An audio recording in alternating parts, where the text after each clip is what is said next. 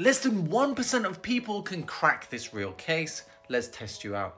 A 14 year old girl had some shortness of breath and chest pain for the last one week. She went to go to the hospital because she felt quite unwell. It was only getting better with ibuprofen and they showed this x ray. Can you see what the problem is there? That doesn't crack the case. It's a bit of air inside the chest, otherwise known as a pneumothorax.